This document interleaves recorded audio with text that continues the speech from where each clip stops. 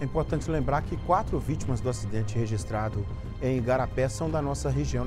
É, esse, esse acidente foi em Igarapé, né? mas essas vítimas são aqui da nossa região, não é isso, equipe? É? São de Teoflotone, né? no Vale do Mucuri. Fantônio Peço e Vitor Cui foram até o local onde o velório está sendo realizado nessa quarta-feira e contam detalhes aqui. É, o Fantônio vai, vai contar pra gente onde é que será realizado o, o enterro, né, Fantônio? Recomedos, o enterro das quatro vítimas acontece no cemitério municipal João Gabriel da Costa, no bairro Dr. Laerte Lender. O velório acontece numa capela no bairro Marajoara.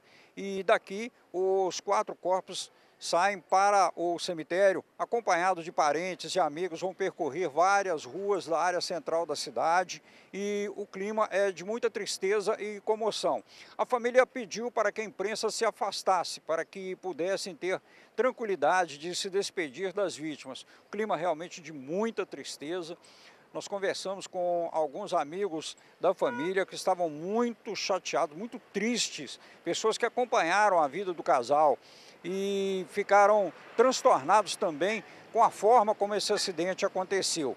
Logo mais no MG Record, mais detalhes a respeito do, das despedidas às quatro vítimas desse acidente na BR-381, na cidade de Garapé, na região metropolitana de Belo Horizonte.